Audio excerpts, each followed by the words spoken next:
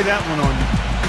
Well, Blazers coach Terry Stotts is a branch on the tree of head coach George Karl, and that's a pretty good tree to be on. In the playing days, Karl coached Stotts in the CBA, and